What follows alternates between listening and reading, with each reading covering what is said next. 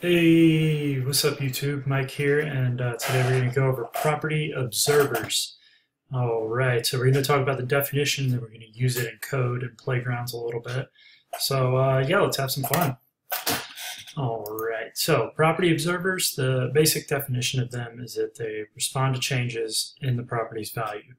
And you have two different kinds of observers. You have will set and you have did set.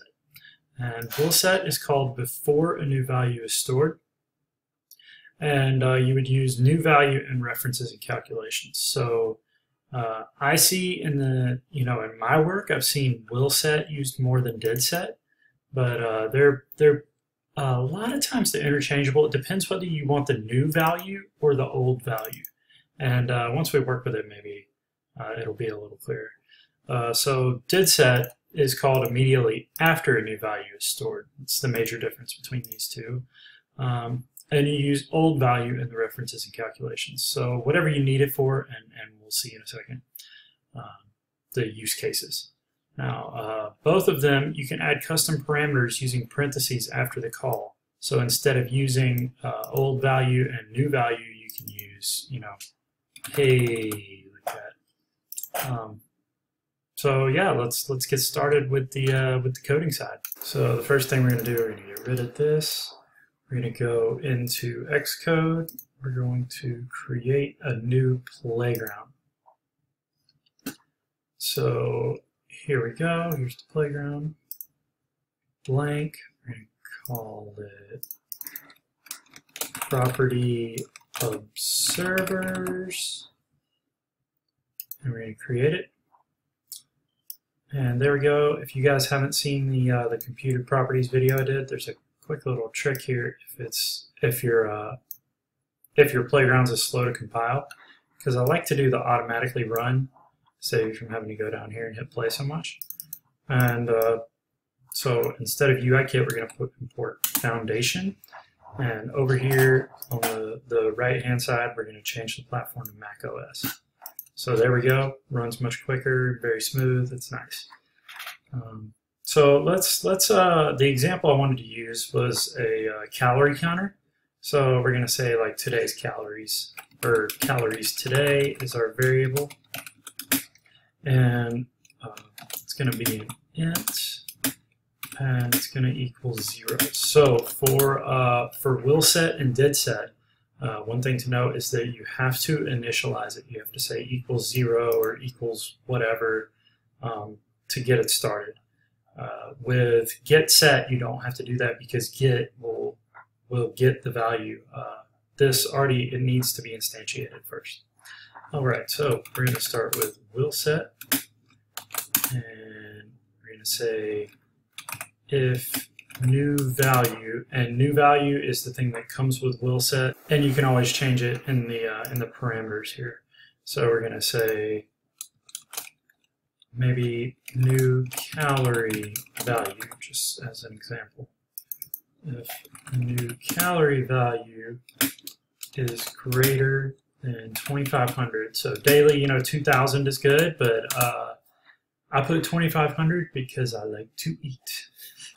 So uh, we're going to print you exceeded your daily limit of 2500 calories. You're now at calories. I suggest you work out or eat less. Period. There you go. Little little real talk with yourself right there. Now, uh, new calorie value. We're gonna add that in here. If you guys aren't familiar with this, uh, the interpolation in a string, just do backslash and then parentheses, and you can put whatever you want, and it'll put it as a string if you're within parentheses, uh, not within parentheses, within quotations. All right, so uh, the next thing we're going to do is set up the did set, and we're going to uh, we're going to test this out in a minute by changing the value of calories today, and that's you know that's ultimately when will set and did set will be called. Now, um, the inside, yeah, there we go. So did set, And uh, so I guess we want to see when we add a new value, we want to see how many uh, calories that we added based on what the last value was. So this is when old value would come into play. Um, we can say if calories today greater than old value, because we don't want to put, I mean, if you put like a negative number, I mean, unless you're eating a ton of celery, it's not going to work out for you. Uh, so we want to print your last addition added calories to your daily total. And so can anyone guess what I'm going to put in here?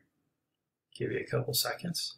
Uh, we're going to put calories today minus old value. And that's going to be, the old value was the value before we changed anything. And uh, so let's let's test this out. Let's take calories today, and we're going to make it equal 500. And your last addition added 500 calories to your daily total. See, because this wasn't triggered here. Um, another another fun thing that we can do is make an else statement here. In case someone does add a negative value, and print there's no shortcuts, you'll enter a positive number. And now for this we can put negative 4. And there we go. So, uh, you know, as you see, we can we can kind of manipulate this how however we like it. Uh, if we put uh, calories negative 4, and then we go in and we put calories today equals, uh, what, 2,800? Let's, let's go past this just to see.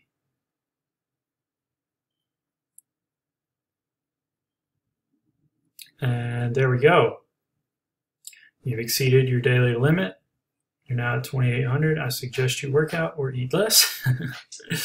and uh, your last edition added 2804 because we were at negative 4. Um, so that's that is a little bug that we got right there. Um, so what we're going to do is we're going to say calories today equals well, actually, no, we don't want to put that there. We want to do calories today equals old value. Because we don't want um, we don't want that negative 4 added to this. So uh, yeah, hopefully you understood that and it's printing out, you've added 2800 so it didn't take in the negative 4. So looks like we've uh, we've done everything we needed to. Uh, the will set and did set are working properly. Uh, I hope y'all found this useful. You can uh, you can download the source code on GitHub. I'm going to save this playground uh, under Property Observers on my GitHub page.